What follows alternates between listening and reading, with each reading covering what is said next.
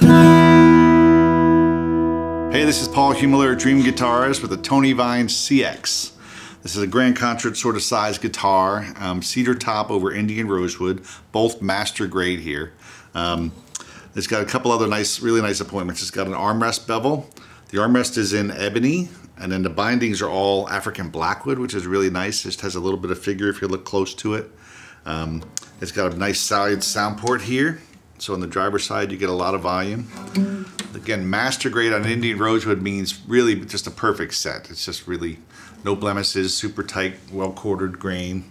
Really neat feature of this guitar, which you can look at the pictures for, is he used Bocote for the rosette and the purfling around the top. Bocote's got a beautiful, almost like a zebra stripe sort of pattern to it, but in a light golden hue and brown grain and just really, really pretty.